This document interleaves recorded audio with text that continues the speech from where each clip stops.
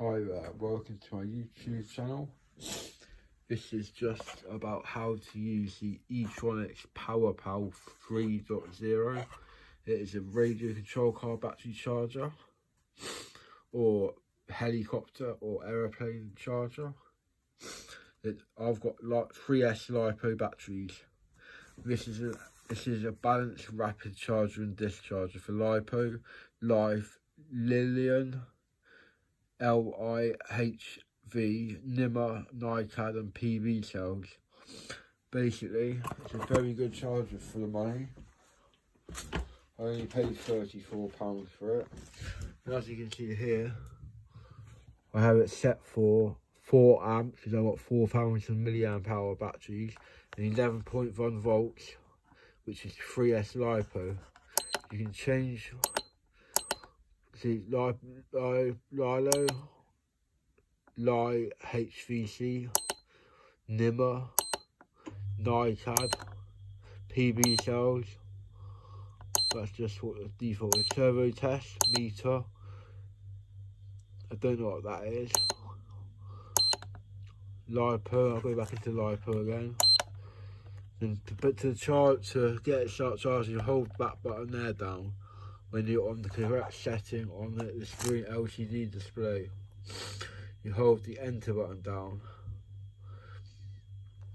and that will get you off charging.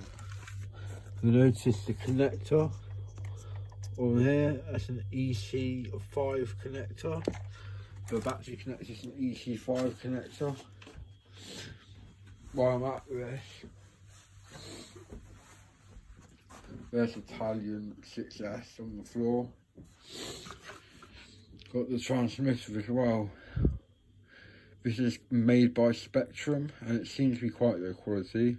Just average I'll say, but it's still pretty, it does the job quite well. The antenna's up the top there. Steering's on the side there, that wheel there's the steering. Throttle, normal or reverse. Steering, normal or reverse throttle trim, steering trim, throttle rate and steering rate. And then that's the throttle limit. I tried setting the throttle limit to 100 yesterday, but when I do this, nothing seems to happen when I give the car power. So I have to put it down to 50. Might start try 75 later, or yeah, 75. I'll try 75 later and see if that makes it any better. Anyway, this is just a quick video on my Spektrum transmitter and my Etronix charger.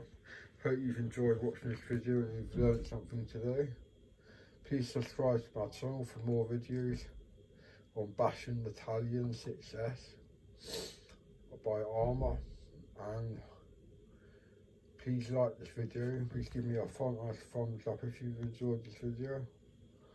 Please comment below if you have any questions. Thanks a lot bye